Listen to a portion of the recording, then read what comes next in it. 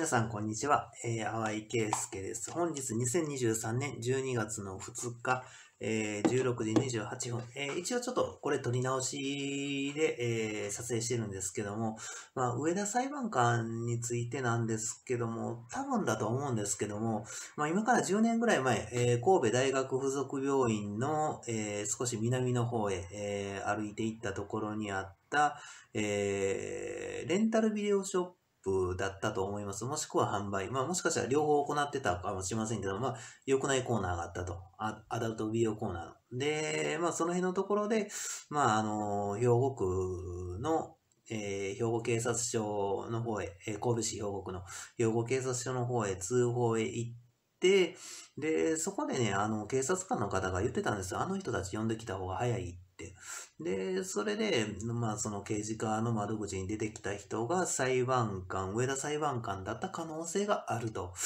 まあ、その、顔が似てるといえば似ていて、まあ、その、通報行った時のその対応された方もメガネかけていたし、上田裁判官もメガネかけていたと。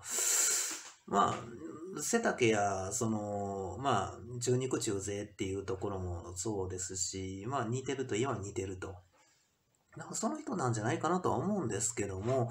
で、ただ、ちょっと気になる点があって、2019年、あの、一度皇居へ行って、まあ、佳子様に会おうとして、まあ、佳子様ということだったら、えー、このままここにいてと、まあ、航空警察で対応された方にそう言われて、まあ、その時頭だいぶ取られたんですけども、頭の中。で、まあ他の方たちがあのテレビに出るんだったら、うわなつみで合ってるわとか、まあいろんなことをね、あの、各自いろんな意見をいろんな方たちが言われて、まあその、もう、佳子様だったらここにいてって言ってくれた人は、僕がこの近辺で、岡場駅の近くのその、イオンモールか、まあ多分イオンの方だと思うんですけども、そこで、えー、窃盗犯を捕まえて、まあ、あのー、まあ警察官に来てもらって、で、書類、書類送検するときの、あの、検察庁への、えー、書類を書いていた方が、その方で、まあ、警部補の方だった、だったんですよね。後から家帰ってから思い出した方なんですよ。で、だから僕はどういうふうな人間かっていうことを知ってる人が、まあ、あの、皇居の前で待っていたと。で、まあ、過去様に合わすっていう、その、段取りを、えー、担当してくれていたと。まあ、その時はね、あの、いろいろ気遣い云々もあって、なんかもうここまで話ちゃんと通ってるんだったら、まあ、もう赤坂古城自分で行った方が早いかなと思って、赤坂古城に行って、その時は、どこが入り口か分かんなかったんですよ。その、なんかいろんな、まあ、一応周りぐるっと回ってみたんですけども、なんか入場券が売ってるところとかあって、ああれってこ、ここじゃないないのかなって住んでるところはってなって、で、まあ結局その時は、まあ、会えなかったんですけども、今度その2019年の11月30日に、えー、今度、宇賀夏美の方、ちょっと話聞きに行ってみようと。これどうなってるかと。本当は古舘一郎さんとかで話したかったんですけども、まあ、宇賀夏美も含めてなんですけどもい、ろんな人、いろんな人。で、あの、SD カード送ってた内容ではね、あの、その、高島彩とか、羽鳥慎一さんとか、その、古舘一郎さんとか、まあ、淡井圭介知ってる人ももうみんな来てと。その、テレビ朝日の、受付のところにね、13時ぐらいに行くからと。まあ、入り口のところでもいいからと。あのー、そういうふうに言ってたんですよ。で、行って、行ったら、今度受付にいたのが、眞子さまだったんですよね。秋篠宮家の。あの、佳子さまの姉です。で、最初ね、その、喋った時に、あ、ごめんなさい。ちょっと話元に戻しますね。上田裁判官の話と小川夏美の件。その、あの、テレビ朝日に行くときに、その、東京駅降りて、で、JR に確か乗ったと思うんですよ。で、浜松か新浜松、あ、なんせ浜松かなんかそういう風な名前のところで降りて、で、地下鉄に、えー、乗り換えて、まあ、テレビ朝日の近くまで行ったんですね。で、そこの新浜松か浜松っていう駅のところで降りた時に、まあ、一つ先か二つ先の扉から、もしかしたら一両先かもしれない。そこから、えー、上田裁判官と思われる人物と上夏美が一緒に降りてきてるんですよ。だからもうこっちからしてもわわからない。テレビに出てる人で偽名使ってる人たちいっぱいいるから、じゃあ、え、名前上田っていう名前で、お父さんっていうことになるんですよ、こちらからしたら。わかんないから、状況が全然。で、その説明も本人から何にもないから、一応、その、13時頃ね、テレビ朝日の受付に行ったら、そ のま、まだいたのが眞子さまで、で、眞子さまが来てるなんか聞いてなかったから、最初、秋篠宮家の眞子ですって言ってきた時に、もう、もう、こっちも今までの件で、多少なりともやっぱりテレビ局に対して腹立ってるから 本当に、今までいい加減なずさな対応をずっとしてたから、だから、最初冗談だと思ったんですよ、テレビ局の、その、勤務者の。こんなところに、眞子さまがいるわけないやろって思って、本当に本当に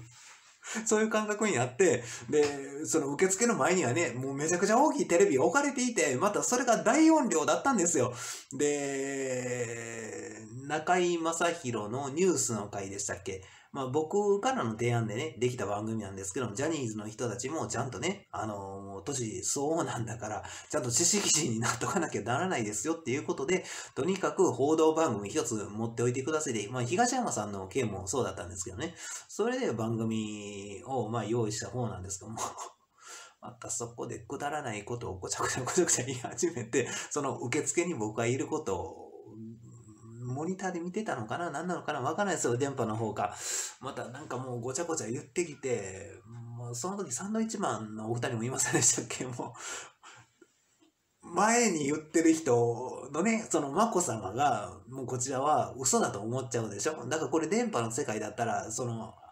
正解不正解で言うと不正解でしょ そこでも僕は間違い始めてしまってる状況になるんですよね。後ろから大音量でごちゃごちゃごちゃごちゃ言ってこられると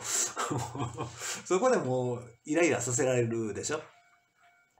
思わずそこで僕は大声出して文句言いそうになったんですけど、そこは何度かセーブして、よーく見た本当に眞子さまだだだったんですね。で、そこでびっくりして、で、これどうなってるんですかって聞いたら、もうすぐしたら来るからとか、なんか、こう、片言言葉で言う、言ってくるんです、マコ、マコ様。で、扉の中から僕が夏美が出てきて、で、また歩き方もね、変な歩き方で出てきて、ごまかすためなのか、場を濁すためなのか、濁すっていう言葉の時点で本当は場を濁しちゃうから綺麗になってないんですよ。だから。金ちゃん走りみたいな動きでね、顔は僕の方を向いといて、体は受付の方へ行くっていう、なんかもう不可解な動きをして、なんか、入管許可証をもらって中また入っていって、えーって、ここまで僕自分の実費で交通費払ってきたのに、何にも話し合いしないで入っていくのっていう、もう衝撃、本当に。えーって、本当に。余計何が何だか分からなくなっただけ本当に。分かんない本当で眞子さんは眞子さまで僕はそこでその地下水流トンネル発電とかそういうことも言ってたのかもしれないし、もうちょっとその当時のこと覚えてないんですけども、そ、それこそ僕も自分が言った内容をね、メモしなきゃなんないんですけども、もうそれこそもうスマートフォンのその撮影とか録音の方法を使わせてほしい。僕も何言ったか分かんなくなるから、相手が何言ったかも。で、まあ普通のことを言ってくるんですよ。その、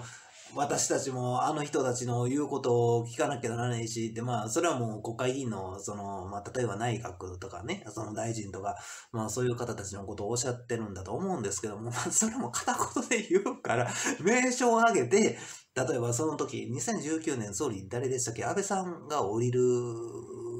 降りた後でしたっけ ?2019 年って。菅さんの頃でしたっけ？それぐらいでしたよね。で、うん、菅総理の言うことを聞かなきゃならないしとか、何かそういうことを、ね、誰かだ、名前をね、言ってくれたらいいんですけど、あの人たちってまだ抽象的なことを棒読み状態で言ったりするから、わかんない。電波で聞こえてきた内容を言ってるのか、眞子さまが。わかんない、全然状況。で、後から、あその、宇賀夏美が扉の中入っていって、今度出てきた人間が、なんか、なんか、男2名の、あのー、警備員が最初いたのかな。その二人は引き込んでいったのかな。で、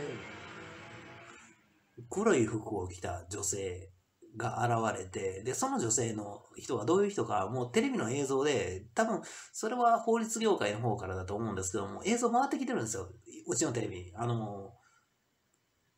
若い頃のね、宇賀夏美と、その、知り合いかなあの、正座させて、そのね、その黒い服着た女こうやって偉そうに足組んで腕組んで説教してる映像があったんですよ。で、その人間がなんか、警備員か何かで出てきて、で、聞いたんですよ。あなたは昔、神戸市立ホテルフルーツラパークに来たことありますか？って。ちゃんと答えないんですよ。あなたおなお名前何って言うんですかって。ちゃんと答えないんですよ。なんか、そんな人間がね、あの、テレビ局から出てきて、なんか、ここで騒ぐんだったらどうこうみたいなことを言い始めて、で、僕にそこまで言われて、言われてからね、またシーンとその人だったんですけど、嘘、本当はちゃんと話聞かなきゃならないからとか言い始めたんですけど、その話全然繋がらない、本当に。もう何もかもが謎で嫌気さしてまた帰ってきた方。交通費それでもう30万以上使わされてるから、最初の方はもう30歳ぐらいの頃からテレビ局の各事務所周りとか、セントフォースとか、でも大体もうテレビ局で、もう、もう30歳前後、僕と同じぐらいの年齢、まあ、30歳ぐらいの頃から各テレビ局とか何回も訪問しに行ったんですけども、西尾ゆかりとか、ズームインとか。で、それで ズームインがちゃんとした対応しなかったから、もう番組ごとな、もう、なくせえって言っても、PPO やんって、どこまで真面目に対応せえへんねんって。全然話し合いしようとしないじゃないかっていうことで、もう、ある日もう、堪忍袋の緒が切れて、ズームインスーパーだけで5回ぐらい行ってるから、僕は本当に。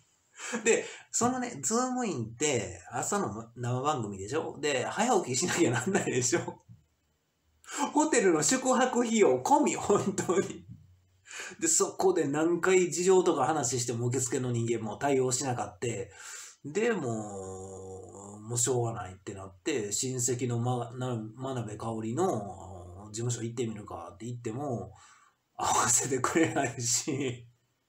本当親戚でテレビ出してもらって、たくさん番組最初の方与えてもらってて、それであなたの事務所の人たちお金稼ぎできてたんでしょうっていう話なのに、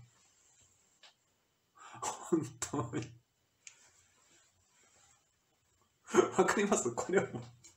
ちょっと一回動作ちゃんとしときますね。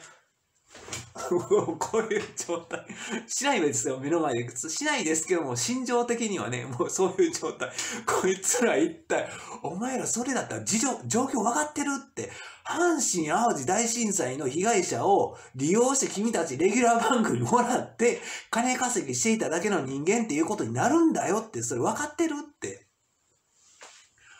まあ結局その後セントフォース行って、でも真面目な対応はしないし、本当に。インターホンをして、で、なんかいろいろ言われて、追い返されて俺も本当に電話しても。テレビの、その、受付に出てくる人間、また新人とかが受付に出るでしょテレビ局が大したことあるところだと思ってるでしょ違うから全然。そんなに大したところと違うからテレビ局って。本当に。もう昔から脱法行為ばっかり、本当にで、自分たちが脱法行為してる側っていう認識がないの。ただただ、そう、まあ20代前半の人たちに多く見受けられる現象なんですけども、テレビ局イコールテレビに出てる人イコールすごいになってしまってるんですよ。まずいませんから。半分以上の人はすごい人。ほとんどの人は早期でいなくなります。売り上げがないから。大した売り上げが。で、テレビ局自体にも大した売り上げがないんです。で、もうそういう世の中なんです。2003年に個人情報方法関係が出来上がって、極端な少子化で人口の出生、男性も女性もこういうふうな形、逆三角形になって生まれてきてるんですから。生まれてきてる人の量がもう半分ぐらいになってきてるんだから。お金なんか探して思うとかにもないんです。あんまり。本当に。もう、もう昔からそう、銀行も証券会社も昔から合併、企業合併どうにかしてきた方、で、あとは人員削減。ずーっとそれ。もうテレビ局も本当はもうその段階だから、もうそんな人間がもう早期に早く何か合わせて何か物事を一つでも解決していけばいいのに次から次へとずっと問題が増えっぱなし。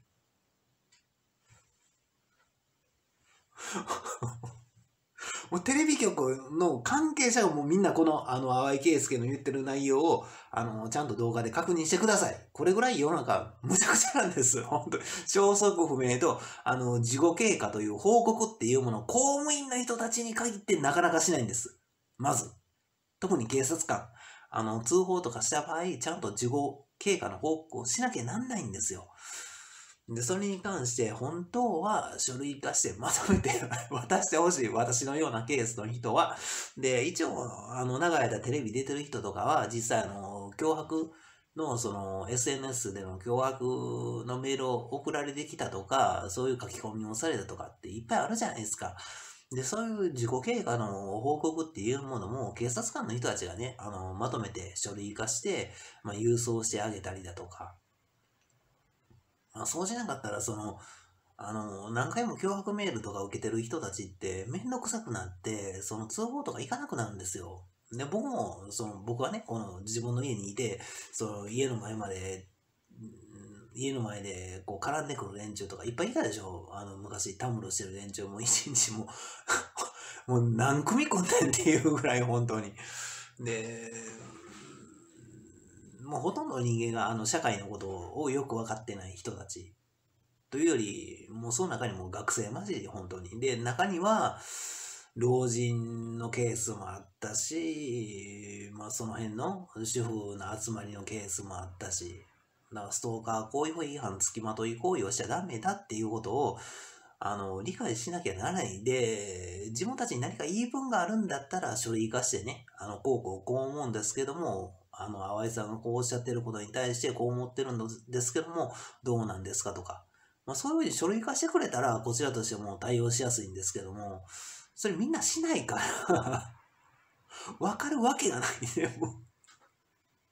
う。もう、数年前なんかすぐ学生がたむろしてたから、本当に。オリンピックの件で。僕はもう空手とかそんなもん出し物として出しちゃダメだって言ってたら、あのー、それを、聞いた人間が、まあ高校生、まあ学生服着た男3人組が、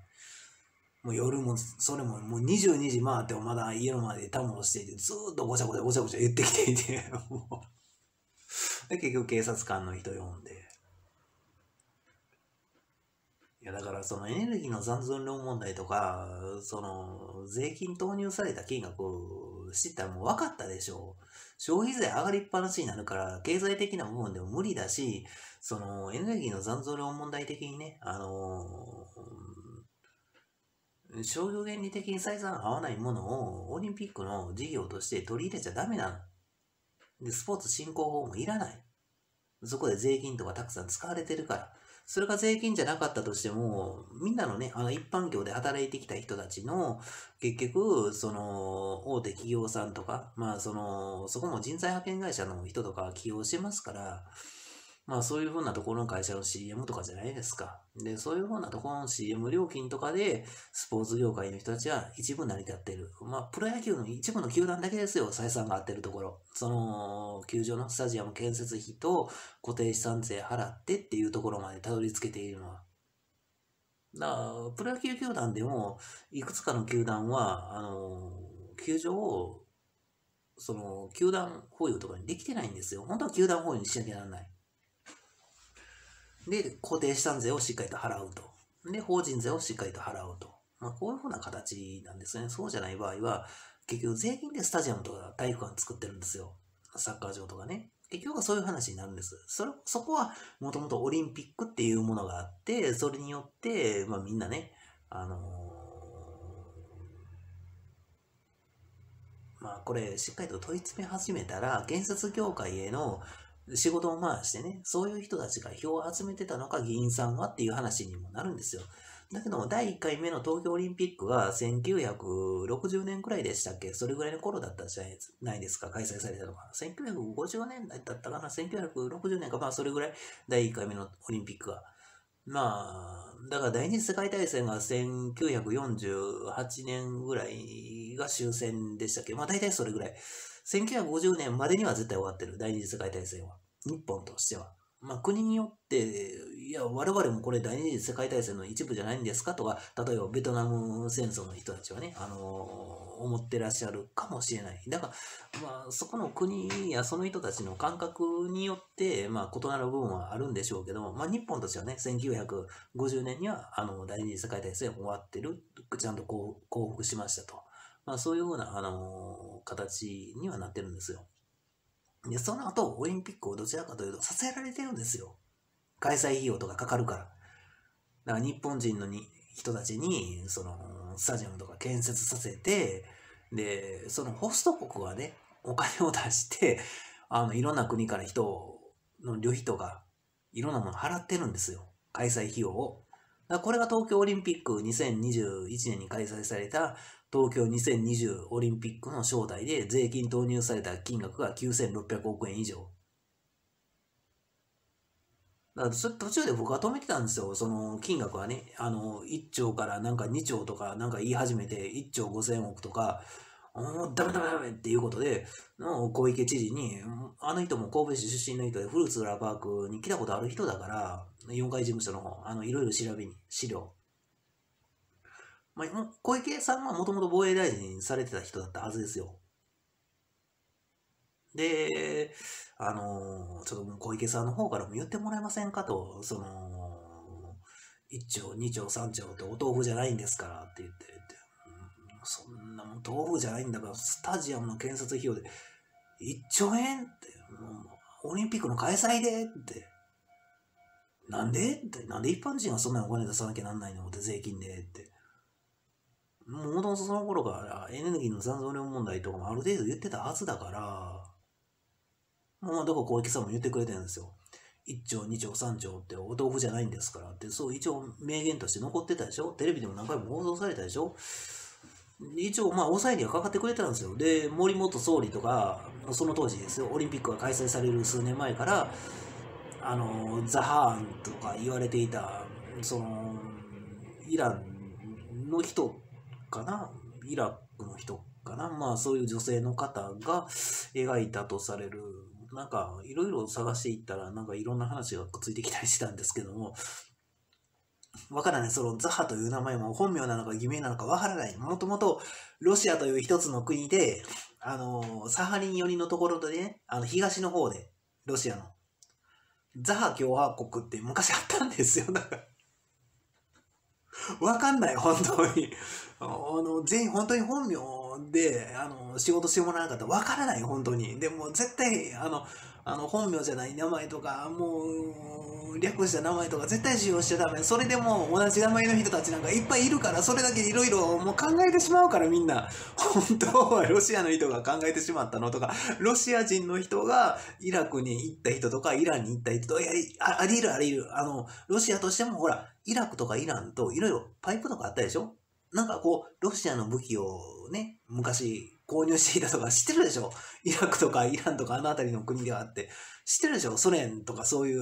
もうソ連もロシアももともと同じだから、あの、ソ連というサイズの国でいろんな国が合併してたでしょ？ソ連という国で。その状態で1900年の頃はロシアという一つの国だったんです。だけども、領土が広すぎた、広すぎたんですよ、きっと。で、いろんな言語の人たちが集まってたでしょ？で、その当時テレビはあんまり普及してなかったでしょ？で、言語、いろんな違う言語の人たちが集まって会議できるかって言ったら、無理無理無理無理無理。絶対話し合いにならないから。そんなことしたって。よくわからんっていう話で、以前こう言われてたはずで、こういう話になったはずなんですけども、で、またもういろんな言葉混ざった言葉で話してきようって余計わからへんか。絶対なるから、そういうふうに。今のテレビ局でもそう、造語混じりプラス、他の他国の言葉混じりですぐ喋るです、さ喋るでしょ？ドメスティックだの、なんだのってすぐ横文字混入させて言うでしょ。もう僕もいちいちテレビ、その報道関係一時停止して忘れるから、やっぱり、あの、ドメスティックの意味はとか、それは家族の、家族内とかね、あの、まあ、一つの国内とかそういう意味っていう言葉そしたらこれ家族内なのか国内の意味なのかこれどういうことなんだろうって 映画映画のねあのそれはまあこの間放送されたワードビジネスサテライトのゴジラマイナス1.0でいいんですかね読み方。まあ、山崎監督、まあ、もしかしたら山崎かもしれない。だからもうこれだけで、もう同じ日本人でも山崎さんなのか山崎さんなのか分かんないんですよ。同じ漢字の名前で、あの、二通りの名前。例えば阪神タイガースのピッチャーは山崎投手。これも忘れなかったら、彼コントロール悪くなっちゃうから、本当に。僕は試合の勝ち負けずっと担当してたから、わ分かるんですよ。それ、それ、読み方、ま、僕は間違えただけで、ストライク入らなかったりするから、本当に。本当に難しすぎる、本当。まあ、あの、そこら辺、スポーツの勝ち負け関係は、あの、スポーツ界へのメッセージ、YouTube 一覧表とか、ホームページ、淡井圭介の履歴って入力していただいて、そこから、えー僕のホームページ開けてもらったら、えー YouTube 一覧表っていうものがずらっと並んでると思います、上の方に。で、そこでスポーツ界へのメッセージのところとか、あと阪神タイガースへのメッセージとか、まあ昔はね、東京オリンピック終わった時に、東京オリンピックをどういう風に頭をなんか貸したりしていたかの内容を記載していました。もう、あれはあれできつかったですよ。まあ、朝の7時台からトライアスロンとか始まっていたから、もしかしたら6時台かもしれないね、夜は。22時前後ぐらいから 3on3 が始まったりするんですが、そのまでの間、ずーっとほとんど何か、何か日本人の出てる試合がありましたから、取捨、取捨選択はできなかった。無理、本当に。迷ってたら無理。もうこの人だったら多分メダル取れるだろうっていう人たちにもう頭の中貸していく。もうこれ。で、あの、ゴルフでも松山英樹が出ていたけども、彼も一回世界ランク1位まで僕は頭の中貸したりして、えーそこまで持っていったから。だからもう今回のオリンピックは、もうある程度の3位以内をうろうろしていたけども、最初、あのーまあ、松山英樹だったら、あ1、2、3位争いできるだろうと思ってて、で、それで頭なんかしてたんだけども、ゴルフ長いから、4時間ちょっとかかるから、もう、ま、もう無理やと、ま、待ちきれんと、もうずっとそれ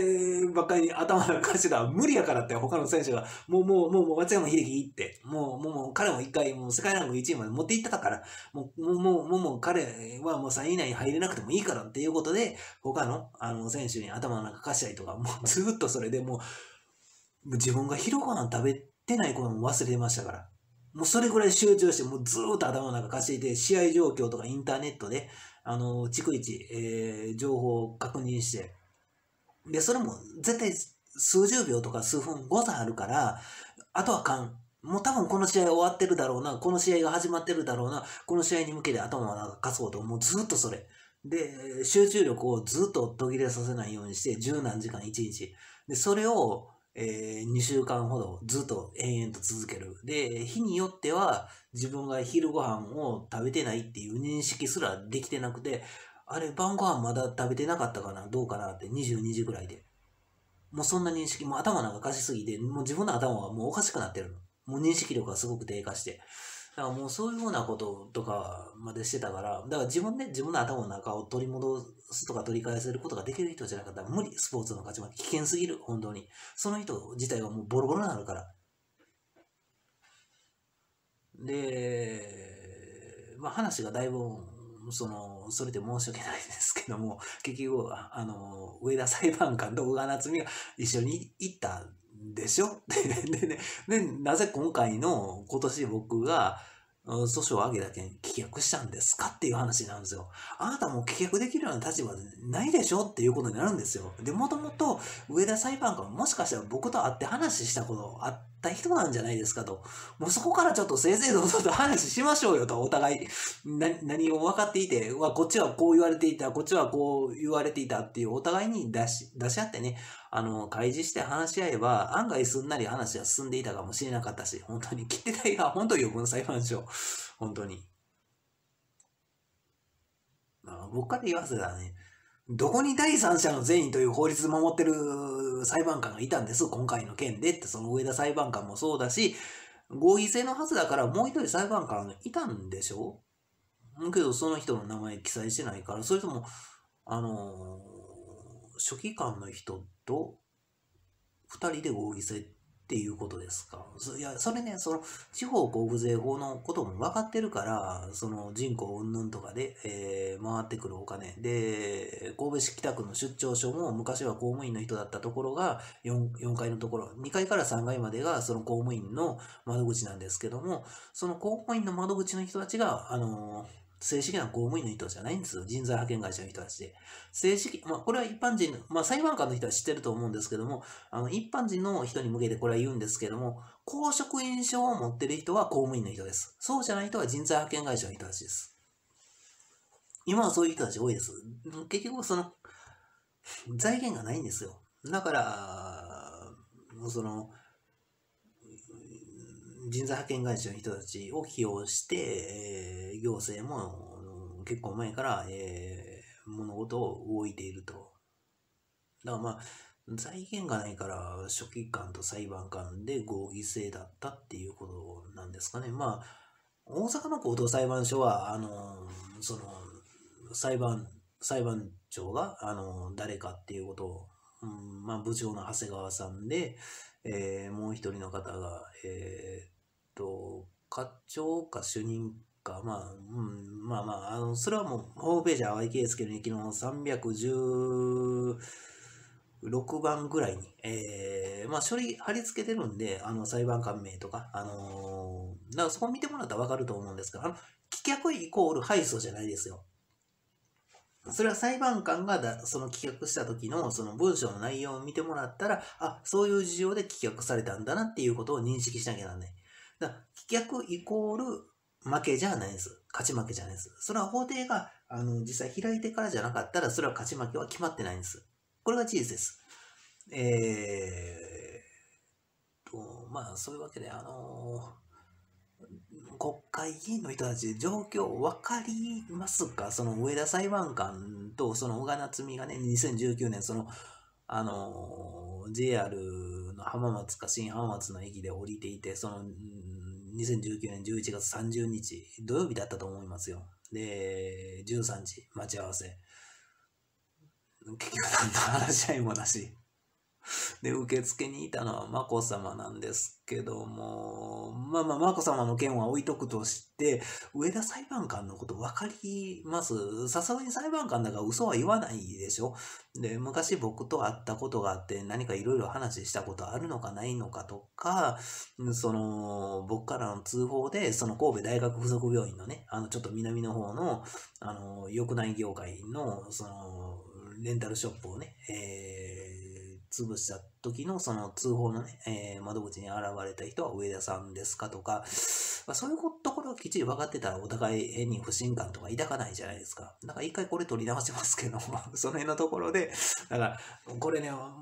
まあ、けど、まあ、けど、今から言うことも本当だと思うんですよ。1956年に売春防止法は出来上がってるんですね。これは事実です。各自で嘘だと思うんだったら、六法全書とか見て、えー、確認してください。そんなもんすぐ分かりますから。あの、こういうふうにね、最初の方の目次で、こういうのがありますから、えー、各ね、あのー、見えてますかね、えー、あいうえお順とかでね、あのー、欄があるんで、売春防止法で探してもらったらいいです。えー、簡単に見つかります。で、そこでね、施行されたのは1956年でちゃんと書いてますから。で、えー、っていうことは1956年に売春防止法が出来上がったっていうことは、政府上層部、警察官も含めて、検察官も含めて、裁判官も含めて、エロ業界認めちゃってたんですよ。売春自体を。売春回収を。えー、っとね、男が勝ったら、売えー、っと、ちょっと待ってくださいね。えー、っと、回春になるんですかね。まあ、女性が勝っても回春になるのかな。で、売春が売ってる方。両方禁止。で、昔はお金でそういうふうなことが行われていたっていうこと、合法化されていたっていうこと。そこは昔の世代がむちゃくちゃだったから、だから、行政全体にそういう人たちがたくさんいた。で、経済界にもたくさんいた。けあの、うん、行政イコール裁判官や検察官や警察官ですよ。だかそういう状況から物事をひっくり返さなきゃならなかったから、それは僕の先代の人たちがものすごく頑張ってきた人たちがいたわけであって、えー、まあ、ただその名残とかもあって、レンタルビデオショップとかにアダルトコーナーがずっとあったんでしょ？っていうことなんですよ。だけどもすぐに潰れるでしょ？どこ見てもそうでしたよ。あの、神戸市兵庫区も。あの、レンタルビデオショップとかで、あの、アダルトコーナーを受け始めたところ、大体10年持たないですね。ただただ、誰もが訴えてなかったりしただけ。訴えられたら絶対負けるはずですよ。だから集団レイプとかしちゃってるから、そういう、あの、アダルト業界が、アダルトビデオ業界の連中が、アダルト、まあ今は DVD かな。だからそこの辺の連中はもうそういうことしちゃってるから、あのー、そういう人間が暴力団なんですよ。だから、あのー、えっ、とね、その、刑務所とかに収監されてる人とかが、えー、生きてシャバに出ることがとか何かそういうふうなことをシャバって言うでしょ。あれ何かって言ったら、鉄砲で撃つものね、射撃のシャーと場所の場なんですよ。シャバ。漫画とかで間違えて遊ぶような感じ書いて、シャワーとか言って、そんな読み方絶対しないからってこ。こっちこっち。だから昔いっぱい鉄砲出回ってたから、第二次世界大戦で。だから警察とか軍が解体されたでしょ。だから、銃とかもう一回警察とかの組織で、あの、かき集めたりとか、あの、そういうことしなきゃならなかったんですよ。あの、軍人として持ってた銃とか、まあ、そのちゃんと、あの、正式にね、政府が発表して銃かき集めたりしてたんですよ。で、みんな、あの、一箇所にね、こう、銃、こう、積み上げていって、あの、返却してるっていう映像あるんですけども、特にあの、名簿でこうチェックとかしないしないでしょ？あの映像を見たらわかると思うんですけども。だから昔はものすごくうずさんで、それだけたくさんいろんなところに物が出回ってしまうと、やっぱり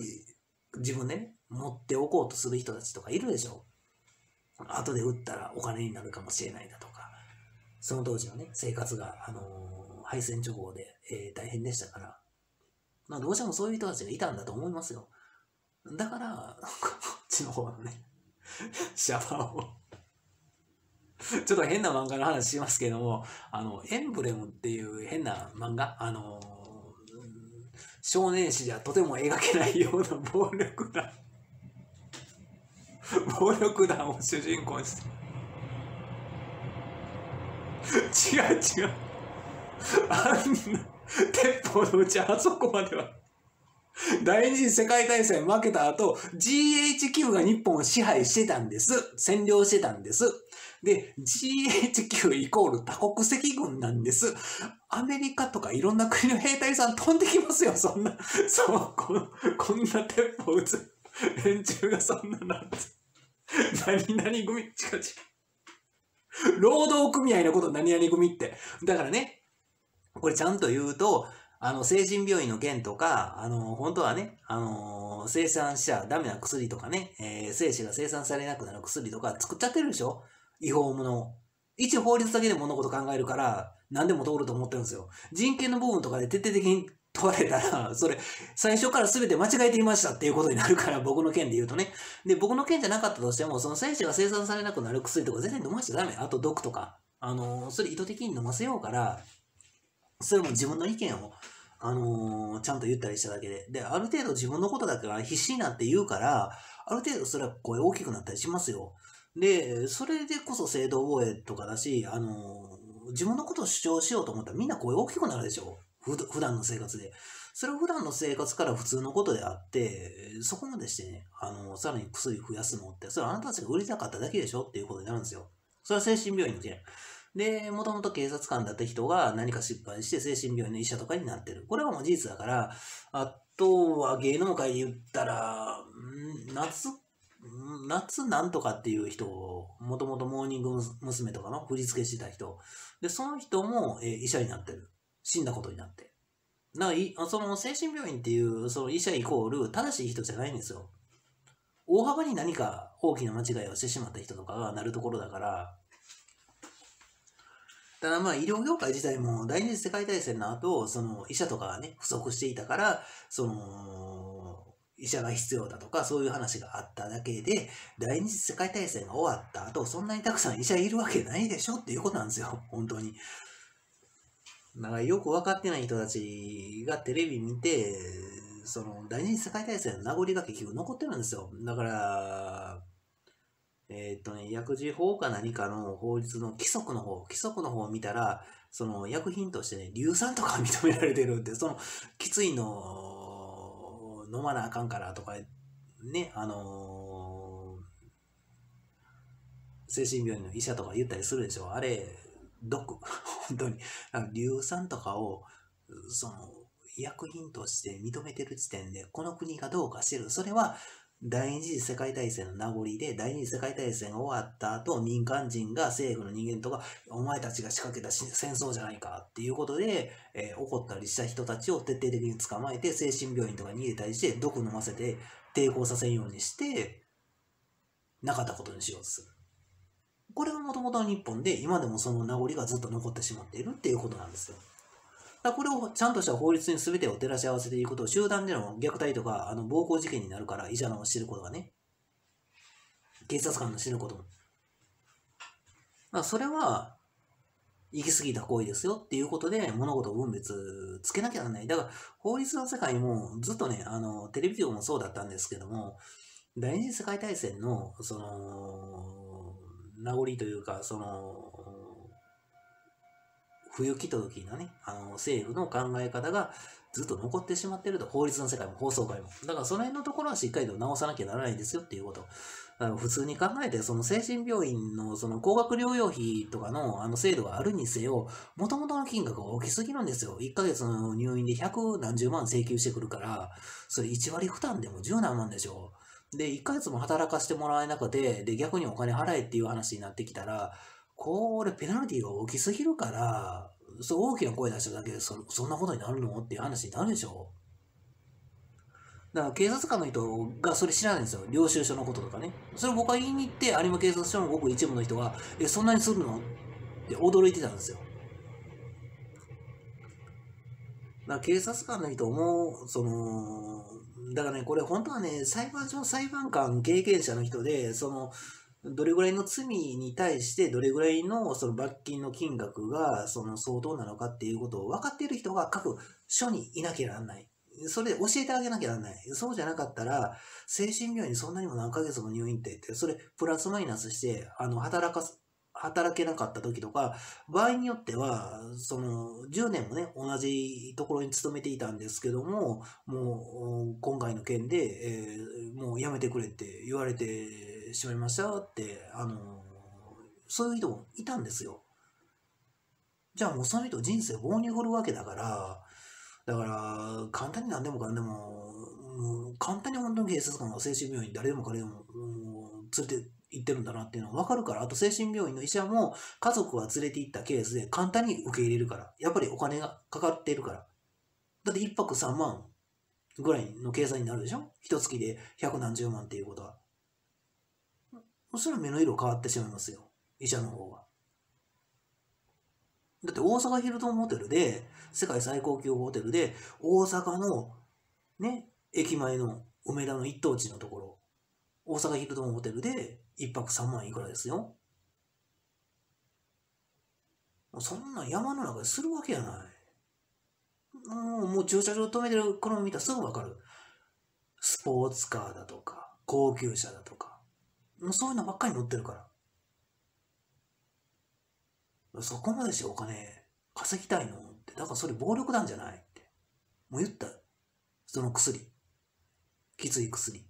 集団暴行。本当はあの、ヤクザっていうのは薬剤師のことであって、一文字飛ばし。テレビ局の人たちとかは、ただ用いる方法で、文字をね、あの昔の人は一文字飛ばしとかで表現したりしていた。遠回しな言い方にしてるのか何なのか。でもそれバレてるから。僕は小学生の頃。あの、それで山口組っていう扱いになってるからで、一回、あの、その田岡古殿っていうところが操作されてたんですけども、田岡製薬所っていうところがね、三井グループで、えー、旧三大財閥の三井グループの製薬会社で、兵庫県の姫路市よりももう少し西の方に播磨っていうところがあるんですけども、そこに田岡製薬所っていうところがあったの。工場でそこで警察官に摘発されてるんだから。で、これを警察官の人たちが知ってないの。そこを、そこと組んで仕事している精神病院なんかに連れて行って、あなたたちも共犯になるじゃないって。ねえ、何も分かってない人たちばっかりでしょ警察官の人たちって。こんなに大事なこと分かってないんですもん。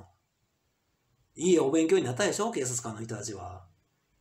だそこはありがとうございますですよ。淡井さんありがとうございますって本当のこと分かりましたって。だからそういうことをしっかりと裁判官が、あのー、警察庁とかで勤務して教えてあげなきゃなんない。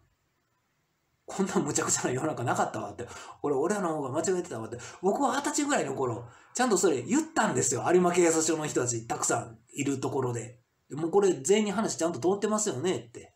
それ確認して通ってるって言ってたんですよ。で、フルーツラーパークに忘年会で、ちゃんと食べに来て、その時、こちらも様子見させてもらいますって言っていて、で、誰も、あの、ビール頼まなかったんですよ。もちろんお酒も日本酒も。ただ、きちっと食事して、あの、食べ残しもなしで、えー、年末の忘年会か新年会。でも、ちょっともう元々はっきり覚えてないんですけども、もう、ビシッとしてるなっていうことで、えー、帰っていきました。だから、あのね、自然ときっちり生きてる人って酒類飲まなくなるんですよ。まあまあ、まあ、これもああんまりその寒い地域の人たちはまた別話になるんでしょうけども、確かにアルコール類飲んだら体温まりますから、あまあ、ロシアの人たちとか、その、辺境の地の人たちが、あのー、酒類を飲んだりしますけども、けど僕から言わせたらね、あんなに豪雪地帯で、酒なんか入ってフラフラなっていたら、もっと危険でしょ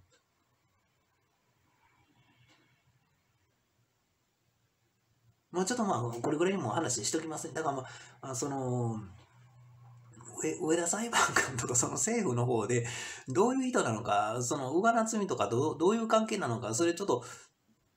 ちゃんと僕に教えてもらいます。その皇居行った時でもいいですし、その、まあ一応、皇室ご一同ということで皇居の方に行きますけども、まあ一応、佳子さまメインということで、うん、まあけど、うん、正直天皇陛下に会って天皇陛下がね、岸田総理に会わせてもらってって。最初からもう、岸田さんがそんな皇居にいてくれたらいいじゃないですかっていう話になるんですけども、河川水門開閉式ダム発の方ですよ。その結婚話の方は、佳子様の方に聞いてみますけども、そこで、僕も自分の年齢分かってますから、その、そんなに甘い話があるとも、なかなか僕も思えないし、この話自分でもなんか無理してるなっていうのあるから、それ好きですよ。僕は好きでも向こうは結婚したくないって言ったらそれでしまいですから、あの、断られたで終わりますから、だから、いや、そ、だからその後、その後僕どうなるんですっていう話になるから、この件、この件本当に。みんなみんな、だから僕と結婚話して、テレビ出て行った人ね。で、自分たちだけ高級稼いで、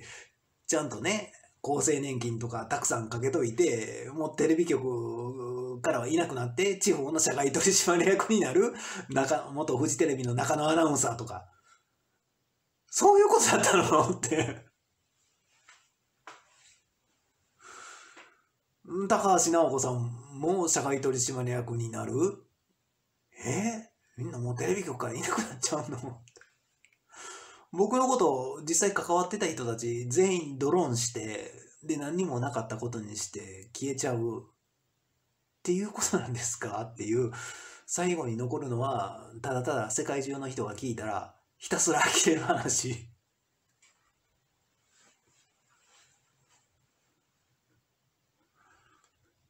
もうちょっとその辺のところ、あのその、腹割った話でね、切腹じゃないですよ。あの、昔の人は腹割った話のことを 切腹とか言い始める。あんな怖いことさせていたら、それこそ大名の方がやられる。絶対怖がられるから。この大名絶対頭おかしいと思われるから。自分たちでね、働かせておいて、年貢とか納めさせといて、気に入らんかったら腹切れって。違う違う。僕一応、母親の方がね、浅井長政の方なんですけども、家系辿っていくと、あのー、琵琶湖のある、滋賀県の方の大名、織田信長とかいた時代に、その織田信長、親戚だったはずなのに遠い、討ち取られてる。いや、あの話はもうどっからどこまで本当か分かんないんですよ。あの、一応それまでにね、何回かその日本中を統一した幕府っていうものは存在してるじゃないですか。だけども、何回もチリチリになってるでしょ。それ多分ね、日本も、例えば沖縄の方の言葉なんか全然違うでしょ。まあその頃は沖縄はどちらかというと琉球という国だったはずなんですけども、まあ、九州の方でもその薩摩弁とかね、あのいろんな言葉遣いがあったと。まあ四国の方でも。東北の方でも北海道の方でも。もう北海道のアイヌの人なんか全然違う言語だから、それこそ琉球の元々のあの言語の言葉と同じで、多分ね、何回会議しても無理だったと思うんですよ。その、いや、だ当時車とかないから、徒歩だから自分で歩いてわかるから、1日30キロとかも。次の日もう1日30キロ歩く。雨降っただけでもう動く気なくなるから。絶対無理やって。間違えた地図渡されただけで大変なことになるから。どこでちゃんと水飲めるかとか、どこでね、あの、お金払ってでもいいから、どこでご飯買えるとか、それ分かってなかったら無理だから。食料腐るから、まさかそ、そんな時代に冷蔵庫なんかないし、そもそも冷蔵庫背負って歩ける人間なんかいない。電気のコンセント。無理無理無理。発電機まで背負わなあかん。次発電機発電するためガソリン背負わなあかん。無理無理無理。だからもう、いやだから、あの、四国行か行くだけでも、兵庫県民から言うとね、あれ、間に淡路島があるからなんとかなってる、なってたんですよ、きっと。とりあえず、なんとか淡路島まで帆を張って、風を受けて、多少横とかに流れていきますよ、風向き変わったら。それ頑張って急いで帆を畳んで、今度はこっちの方やで、みんなでこいで、だから体力ある人じゃなかったら絶対無理。今のアスリート級の人たちじゃなかったら、無理無理に体力なんか持つわけないから、こっちの方。もう、例えばね、腕相撲思いっきりした時に、1分持ちます？もう1分超えたらもうみんな腕に力入らなくなるでしょ。普段から力仕事してる人でも、普段から力仕事してない人って、20秒以上力入ります？全力で。で、こう力入れてる。もう息上がるでしょ？もう腕、力入らなくなるでしょ？すぐ疲れて。っていうことは、ね、食料を積みながらお米とかいっぱい沈むから、そのもう重たかったら、息切れたら終わり。一回加速したら、もうそこ頑張って、こいで一気にもう島まで到達しなかったら、もう最初勢いつけるときがものすごく重いから。本当に。それはどうにね、何回も各大名に分かれたんだなって。で、織田信長のその鉄砲の三段撃ちも、多分、兵庫県の、あの、兵庫区生まれなんですけど、僕。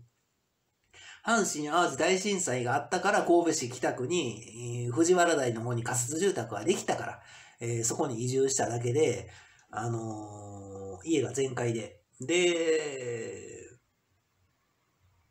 家の近くのね、その、新港川、昔は港川っていう名前だったんですけども、熊橋っていう名前だったんですよ、名称が。マルシン市場のすぐ前です。まあ、いろんなところに名称があるから、ちゃんといろんなところを何箇所も見てもらってもらわなく 困るんですけども、あの、違う名称が書かれてる時は書かれてますから。いや、橋がね、えーっとね、まあ、その橋のすぐ近くに橋があるんですよ。だからどちらの橋が熊野橋だったか、僕も覚えてないんですよ。そのすぐ横で、横にあの東山コーポがあったんですけど、すぐ近く、もう、もう目だ鼻の先、もう20メートル以内。本当に。うん、だから、熊野橋っていうことは、やっぱりあの辺りも熊出てたんだと思いますよ。少なくとも2000年ぐらいの頃でも、阪神・淡路大震災の後ですよ。あの、車でね、灘か東灘の方に、まあ、用事があって、えー、車で降りていったら有料道路。そして、イノシシが歩いてます、もう平気で。ほんとほんと。で、それで、あの、イノシシ、まあ、牛とかね、豚さん輸入させていただいてるじゃないですか、日本。農業弱いから。で、えー、もうどうせ六甲さん、すぐそこ山でイノシシとかいるから、あの、豚肉に近い味がするって言われてるから、あの、灘区か東灘区にラーメン屋さん作って、そこのチャーシューは獅子肉っていうことで出しといたらいいっていうことででき、できてるんですよ、そこの店舗。もともと。だから、織田信長の三段撃ちは多分昔ひなが銃でね、一回撃つでしょう。で、しかも、あの、50メートルも離れていたら、鎧はまず貫通できなかったらしいですよ。で、そんな銃で、大きい駒なんか2メートルあるから、体重ももう200キロ超えるやつは超えてるから、あもう熊が木に登っていくスピード見てびっくりしますよ。あの、普通に、まあ、あの、走っていくスピードあるでしょ。あのまま垂直に上がっていきますから、あいつら。めちゃめちゃ腕腕とか足の力強いですから。そんな、そんなんでね、そんな銃で効くかどうかわかんない。あの、肉とか分厚いから。で、あの、多分散弾銃は、熊とかを狩りに行った時に、一発目外したり、あの、大したダメージ与えられなかった時、次二人目が撃って、えー、その次3人目が撃つと。で、3人目が撃ち終わるまでに、それまでに駒が仕留められないケースもあるから、あの、それまでに人、一番最初に撃ったやつはもうすぐに弾込め。あれ30秒以上かかるらしいから、一回なんか筒の中掃除して、あの、弾押し込んで、火薬入れて、あの、しっかりと、あの、で、あの、まあ、装填って言ったらいいのかな。まあ、それで、また、あの、火、火、多分本当は火つけっぱなしだと思うんだけども、それでもう一回、あの、激鉄を起こして、もう一回、あの、引き金を引くと。だから、それまでの秒数が30秒かかると。だから、昔、そこまで考えれなかった人がいたと思うんですよ。その、熊とかを退治するのに、まあ、威力もあんまりなかったんですけど、昔の銃は。で、あのー、一発目外して、あ銃持たせて熊退治に行かせたけど、帰ってこえへんぞと。あの、やっぱりくわ、あ後で現場見見た、あの、どこそこの山行くって言っていたけども、彼帰ってこないと。ちょっと武士10人ぐらいでちょっと見に行ったれということで見に行ったら、結局、ね、熊に食われていたとか、まあ、無残な死骸がね、あって、まあ、場合によっては土の中とかに隠したりしますよ。熊同士のあのテリトリーがあるから、大きい熊のはやっぱり強いから、小さい熊は負けて、あの、食料がなかなか手に入らないんですよ。だから、織田信長が 天下取れた本当三段打ちでちゃんと熊退治いっぱいしたからなんじゃないのって、だってそれまで織田信長が現れるまでは、まあ大阪の堺でね、あの、その銃の精度を上げて大量生産を始めたんですよ。だそれまで銃を大量生産するっていうアイデアがなかったし、そもそもそのアイデアがなかったのは金属をね、採掘するっていうのが大変だったから。人間は掘っていたから、あの、金属でね、金属でちゃんと掘っていたから、最初は石で掘っていた方。で、それから金属を見つけて、なんとか頑張って1000度以上まで火を起こして、あの、木材とかでね、石炭とか加工した人は加工したと思います。で、とにかく、まあまあ、もののけ姫の、あの、たたらばみたいなところ、ああいう風なところで、あの、ちゃんと製鉄所を作って金属を溶かしてたんですよ。もののけ姫の話もややこしいってあれ。本当は熊、あれ、さすがに熊は出てきてないですけど。大きなイノシシ、大きなイノシシで、今までの記録で言うと、250キロのイノシシが捕獲された例があるんです。それでも、高さね、体高は、えー、1メートル50センチ。ただ、長さは2メートルぐらいある。250キロ。めちゃくちゃ大きい。だから、それで、あのー山の主とか山の神様っていう扱いをされてた。な僕が二十歳ぐらいの頃に 制作されたもののけ本当の話ここから始めると、すごいややこしい話に見える。せっかくただまで銃作って大きな獣とか退治してもう100キロ超えてくるイノシシなんかもう刀で勝負せ言われたってよっぽど体鍛えてるもう身長もう2メートル近くある人間とかは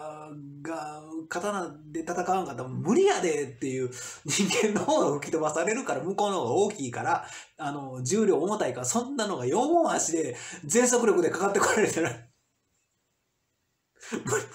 無理無理無理無理。無理 体当たりで吹き飛ばされる。でねえあのその大門って呼ばれてたその暴力団の話に戻りましょうか。あれ流れ星銀銀っていうあの熊犬がねあの主人公の話があって熊退治の話なんですよ。でそれまあその熊がねあのいろんなその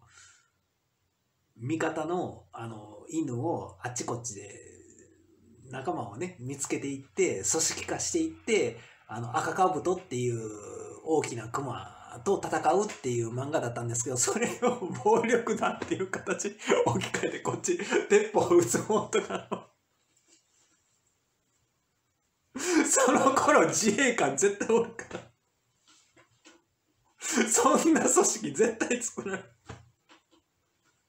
その辺の数人とかが海外からの密輸とかで、特に芸能界関係とかエロ業界関係のやつらが 銃手に入れて、調子乗って金要求して、あの、芸能事務所とかに発砲事件。これは1960年代、70年代に結構ありました。密輸密輸。あと辿っていったらロシアから銃流れてきてることになってますけども。そういう話になって。一応その辺の話からロシアのプーチン大統領ともあの仲良くなってるんですよ、日本は。本当ですよ。1997年ぐらいの頃、いろんな世界中のその後政府上層部に、えー、なられる方たちが来て、そこで僕人権作文とか読んでますから。僕は中学生の頃に書いた。そこから黒人初の大統領の話とかで、みんなでそれで、えー、盛り上がっていきましょうっていうことで。こちらとしては、本当に銃の密輸、ちょっとそっちの、あのロシ、ロシアの軍の人たちでちゃんとストップしてくださいねっていうことで。今さなかなかないとは思いますけどね。その漫画の演舞。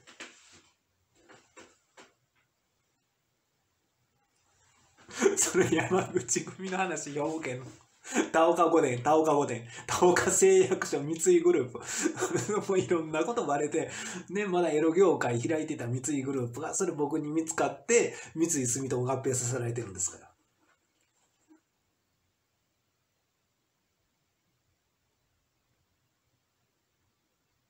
だから、もともと証券会社と銀行に嘘があるって1970年代にアメリカの議会でも、あのー、まあ、しっかりと、あのーまあ、起訴されてるという言い方でいいと思いますよ。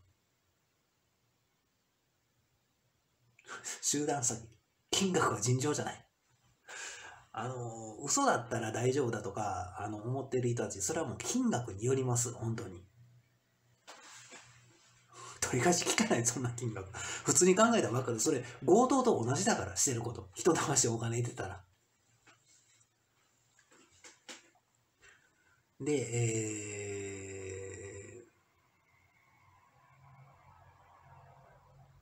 だまあ、そんな変な漫画とかはね、少年誌ではさすがにないでしょう。なかったはずだと思うんですよ。で、そのエンブレムっていう漫画も最後の変な終わり方してます。なんかあの、ゲームの中の話みたいな話で無理やり終わらされて。昔フルーツラーパークでもうこんな青みたいな漫画いらんやろっていう話になって、これ、なんかこの8000とかなんか流れ星銀でもなんか最後赤かぶとのとの対決の時8000頭ぐらい犬集めてませんでしたっけとかなんかそんな話になって。阿久津組ってなんな 犬っていうこと そんな規模だった。迷彩服着て自衛官ってて。